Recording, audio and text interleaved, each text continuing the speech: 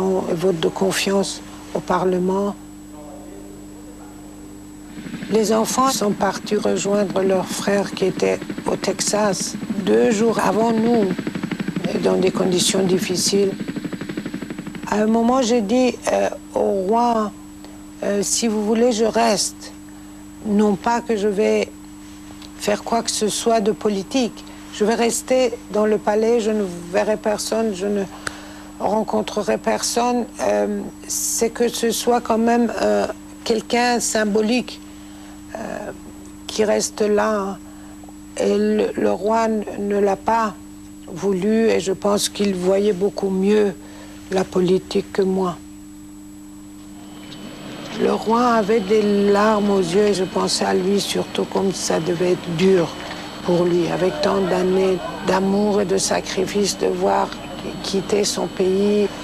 Il y avait un pilote qui s'est jeté à ses pieds en le suppliant de ne pas partir et il y avait d'autres officiers qui faisaient la même chose.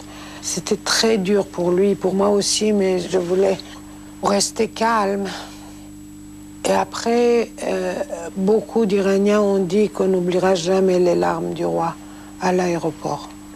C'est ces larmes qui ont fait que nous souffrons tellement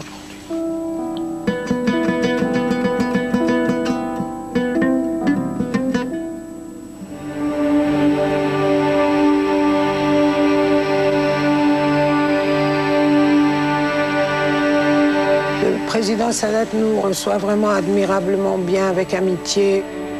Il a montré au monde entier que même en politique, on peut avoir des valeurs morales. Le peuple égyptien disait c'est notre frère.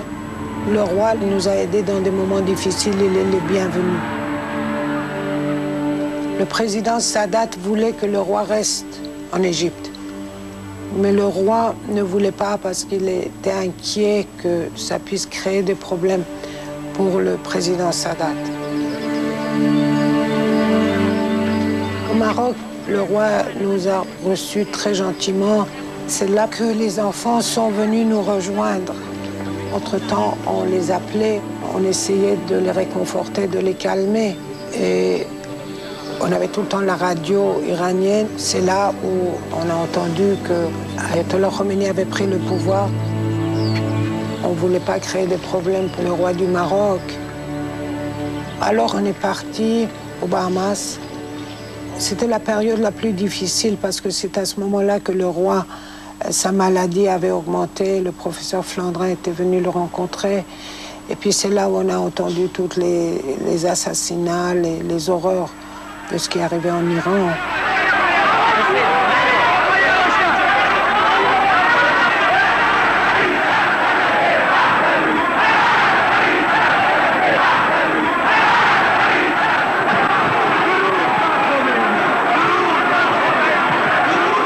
Personne ne pensait que après la Révolution, ceux qui parlaient de la liberté, de la démocratie, allaient faire des choses atroces comme ça.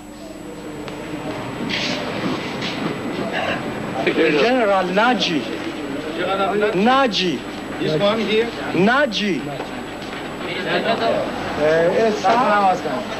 Nassiri, général Nassiri, ministre de Savak.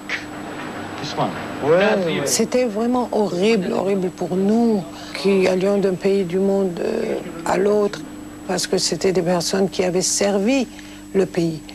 Et des, officiers, des, civils, des personnes âgées de grande valeur. On se demande qui étaient ces gens qui assassinaient. C'est pas possible qu'on pense que c'est des, Iraniens puissent faire ça. Quand, quand je pense à l'assassinat de Madame Farroukhrou Porso, qui était un être extraordinaire qui, avait été notre ministre de l'Éducation. Ils l'ont mis dans un sac en jute pour l'assassiner en pensant que parce que c'est une femme, une fois qu'elle est tombée, que son corps ne se voit pas. Mais des choses atroces. Des amis, il n'y en avait pas beaucoup à ce moment-là parce que tout le monde avait peur. Bon, il y avait mes amis proches qui venaient, il y avait des membres de la famille qui venaient ou certaines qui gardaient leur amitié, qui venaient ou qui téléphonaient, qui demandaient de nouvelles, mais ils n'étaient pas très nombreux. Des Bahamas, on est parti au Mexique. Les enfants étaient aux États-Unis. Pour les écoles, ils avaient tous leurs difficultés parce que euh, les écoles avaient peur de les recevoir, de peur de la sécurité. Je disais même si le monde entier veut détruire notre image, au fond de nous-mêmes, nous savons ce que nous sommes. Je voulais tenir pour mon mari, pour mes enfants, pour ceux qui croyaient en moi et pour ma dignité. Et c'était vraiment heure par heure, jour par jour, de tenir, parce qu'il n'y avait pas d'autre solution. Je me souviens que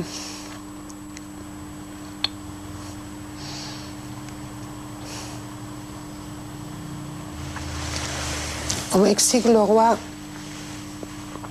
m'avait dit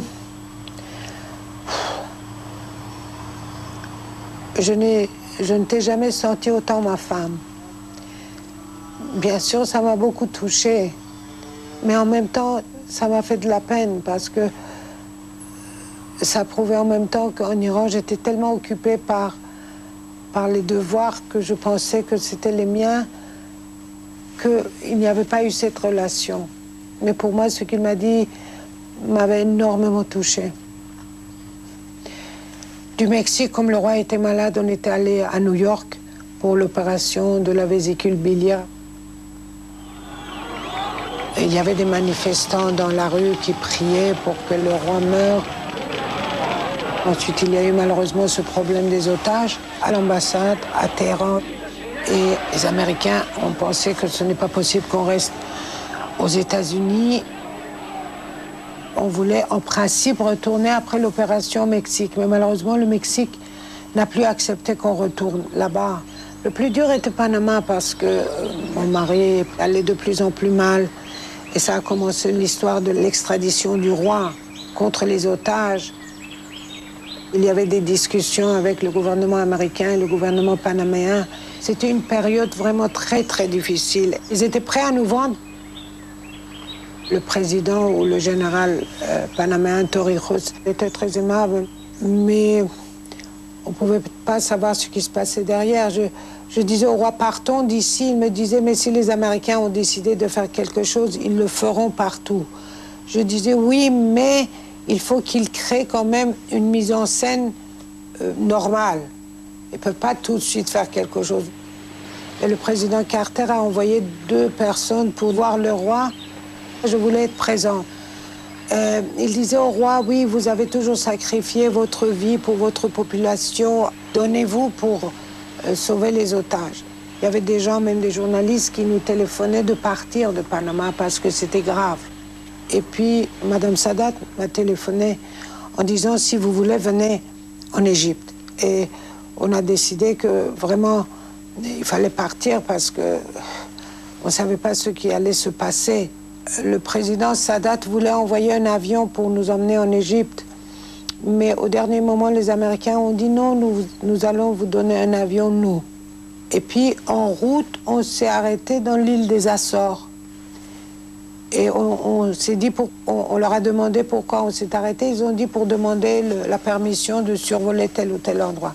Ça nous a étonnés parce que d'habitude, un avion demande son, euh, son, sa route avant, c'est pas au milieu du chemin.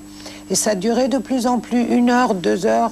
Il y a eu des officiels parce que c'était une base américaine, je pense, qui sont venus voir le roi dans l'avion. Le roi avait de la fièvre, l'avion refroidissait. Moi, j'étais très inquiet pour lui. Je suis sortie pour marcher un peu, pour respirer. Mais, mais là, c'est plus tard qu'on a, qu'on a appris que si notre avion était gardé aux Açores, c'est parce qu'il y avait une discussion entre la République islamique et l'administration américaine. Si euh, l'avion retourne au Panama, les Iraniens vont libérer les otages. Quand on est arrivé en Égypte après toutes les histoires de, de Panama, c'était vraiment la première fois qu'on respirait qu'on est entre, entre amis, entre des frères, et puis dans la situation difficile de la maladie du roi. Je pensais à lui, il ne s'est jamais plaint, il n'a jamais rien dit de négatif sur, ses compatriotes, sur son peuple. Il, s'est mis vraiment, il a volé au-dessus des mesquineries de la vie et des problèmes de la vie.